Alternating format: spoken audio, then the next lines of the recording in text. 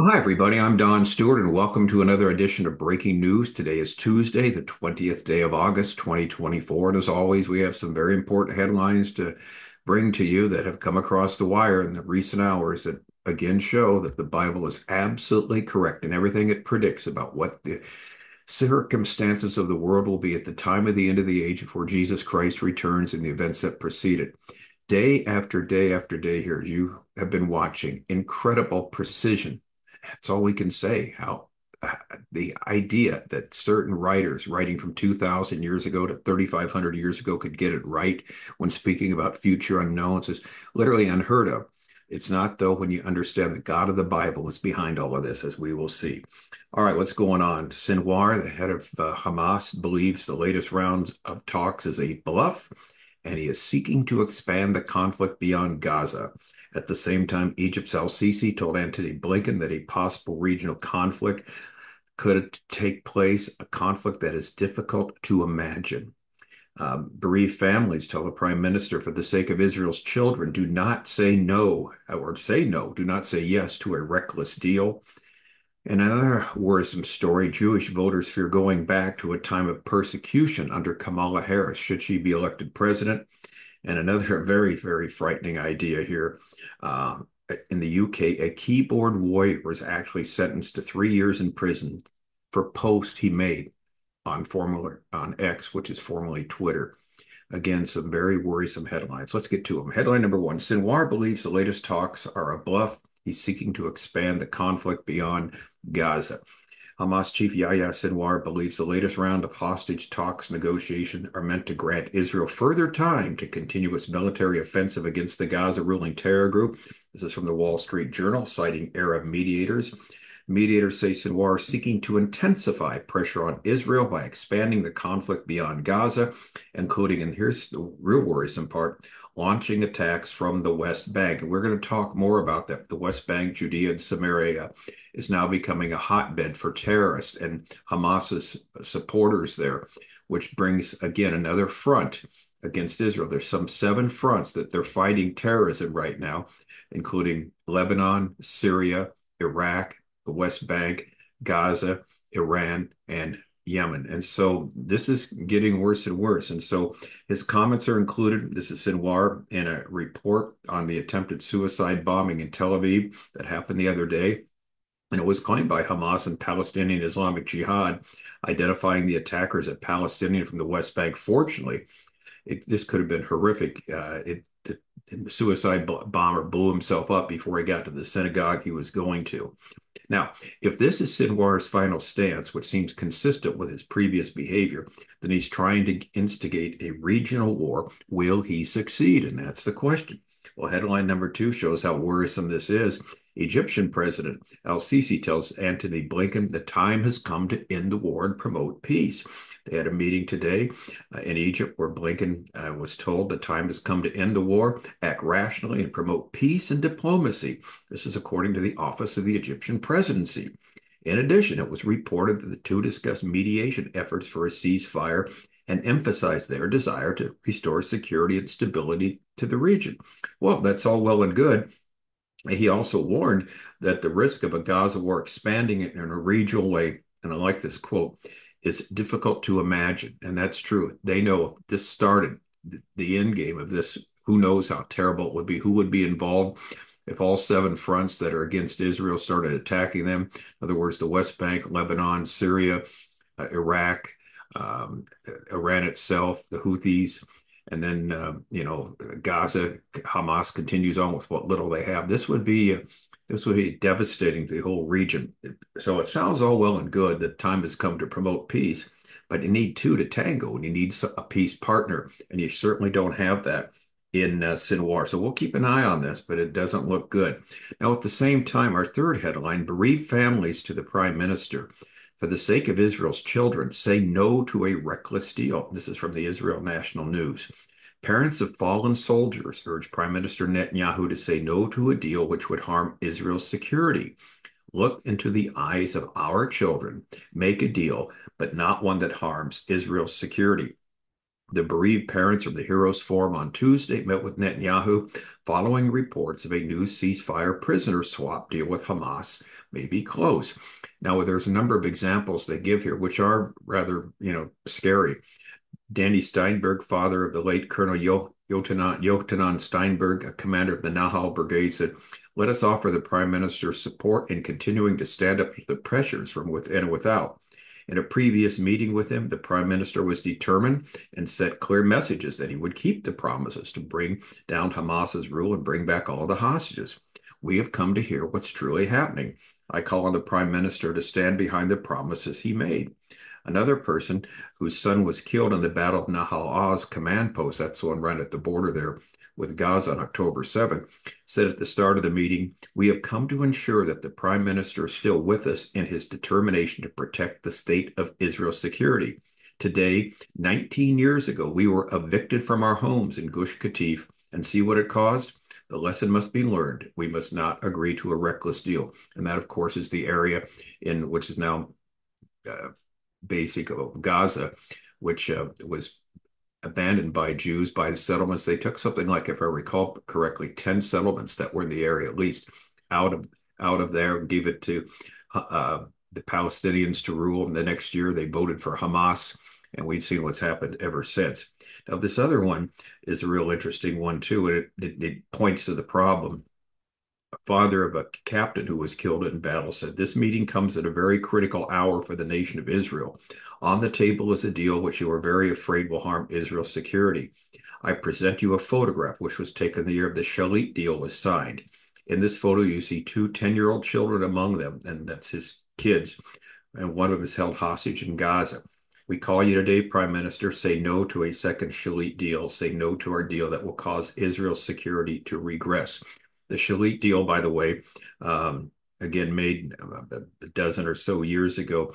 One Israeli soldier was traded for over 1,000 Palestinian prisoners, over 1,000, and include included the 1,000 was Yahya Sinwar, who was you know a murderer and who is now, of course, the leader of Hamas, and well, as well as many other Hamas lieutenants, leaders, and murderers were also released uh, years ago during that. Uh, uh, agreement that Israel made. And finally, another one said, uh, prime uh, uh, they don't understand why he's thinking about this. In the most optimistic uh, scenario, in my eyes, the prime minister will sign a deal which 30 hostages will be released, over half of whom are not alive. I will not see my son for another two years, uh, and nothing good will happen if this is unthinkable. In other words, don't do a deal for 30 prisoners, you know, that Hamas is holding to be released, and 15 of them are just bodies of those who've already been murdered by Hamas. Okay, Israel has been making bad deals since 1983. There is a story we had that listed them all rather than going through it. We'll just give you the idea of where it started. In 1983, there were six Israeli soldiers that were kidnapped by the PA, the Palestinian Authority, by the terrorists that were there. They were traded for over 4,000 prisoners, 4,000 Palestinian prisoners were traded for six Israelis. And ever since then, like the Shalit deal, over 1,000 uh, terrorist uh, prisoners, including terrorist murders, were released for one man. And what these these are the families of people who have been killed, the soldiers who have been killed fighting in Gaza, and saying, please, please do not do this. Don't release uh, don't do a deal that releases um, these murderers back into the world. All right, headline number four is another worrisome thing. Jewish voters fear going back in time of persecution under a Kamala Harris. Will Harris condemn the sanction regime, regime against Israeli Jews, a scare tactic reminiscent of the dark ages of Europe? Jewish delegates to the Democratic National Convention in Chicago are easy, eager to see what Vice President Harris has to say. American Jews are amongst her most prominent donors, and many want to vote for her. Historically, 70 to 80% of the Jews have voted for the Democratic presidential candidate. But for the first time in American political history, there is broad Jewish hesitation, as there should be.